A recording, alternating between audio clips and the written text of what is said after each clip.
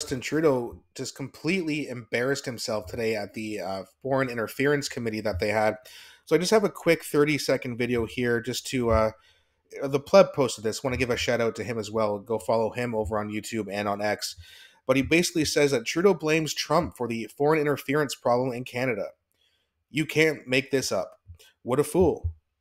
Completely agreed. So let's just check out what he said here and then we'll talk about it after, like usual.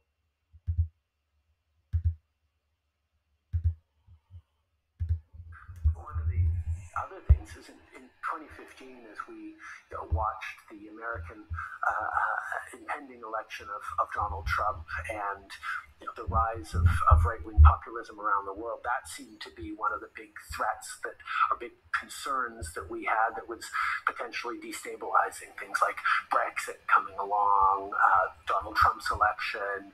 There was a, a, a lift of right wing populism that was very much the moment we were living in in 2015, 2016, 2017, and grappling with as a as a uh, responsible, progressive, rule of law democracy. So, go figure the global elitist has a problem with populism, especially right wing populism. Now, I don't think that Justin Trudeau actually understands how much left wing populism is on the rise as well. People who agree with people like, you know, Tulsi Gabbard or Robert Kennedy Jr., you know, Russell Brand, Jimmy Dore, Joe Rogan, those types of people are more left wing populists. They just have strong disagreements with the far left because to the far left, everyone is far right to them.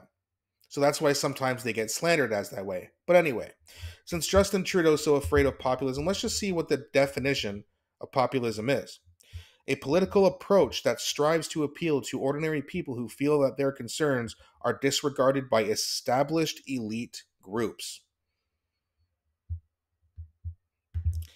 Well, I think it's pretty clear to say that Justin Trudeau is an elitist and a globalist you're not a member of the WEF if you're not a globalist and an elitist, and he's a member of that. And he's both of those things. Not to mention all the far left, you know, industries that are basically on his side, like big tech, for example, big pharma, for another example. So the reason that populism is on the rise is because people, especially in this country, are really waking up to what happens when you vote in politicians who are bought and paid for by elite establishment groups. I understand there are people who have concerns like that with Pierre Poilievre. I understand.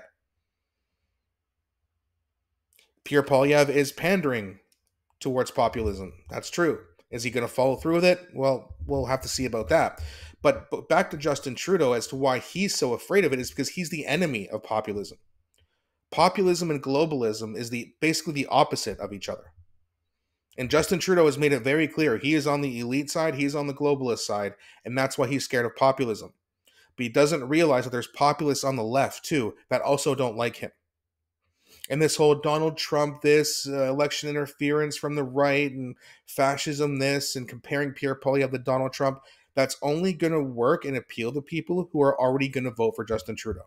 There are very, very few people who are, you know, undecided or independents, or they don't really want to vote for either party or the NDPs who are actually going to flip over to Trudeau and believe that. There'll be a handful, a handful rather, but generally speaking, most people who are undecided are likely to move over to the conservatives because populists are making a very good argument and they're making more and more sense than they ever have been and there's more and more uh, of us than there have ever uh, been at least in my lifetime.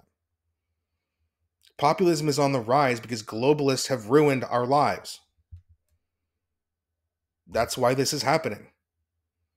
He only thinks it's coming from the right, but it's not. It's coming from the left. And everyone, including the left wing populists, right wing populists, libertarians, independents, they're all against Justin Trudeau. The only people who are with him are people that are either too far asleep or too just in a in too much of a deep sleep where they just don't understand what's really going on. Maybe they're naive. I'm not really sure exactly what appeals people to Justin Trudeau. I've heard a lot of people say, "Well, it's only people who work for federal government." No, I I, I know people personally who still vote for him, or who still support him and will vote for him again. Now that being said, there's that number is shrinking by the day. Justin Trudeau knows this, so he's trying to scare people back to liberalism, or what he is pandering to liberalism, but is what has really become elite globalism. And more and more people are seeing it, and he's terrified, and he should be, because he's on his way out. And if we find out that it's actually his party or himself with this whole election interference, he's going to jail. So that's why he's scared of populists, because populists want to see him and every other politician here forward to uh, be held accountable for. They won't do it themselves. We have to do it for them. Conservatives and liberals will only attack the other side and then defend their own side from what they're criticizing on the other side. Populists, populists don't care if you're conservative or liberal. We're going to hold you accountable no matter which side you are on because you're going to work for us. Because we are Canada first and we need to make sure our politicians are as well. So that's going to be it for this video, guys. Let me know what you think in the comment section. Also, please don't forget to like and subscribe as it really helps grow the channel. Thanks again so much for watching, and I'll be back shortly with a new video.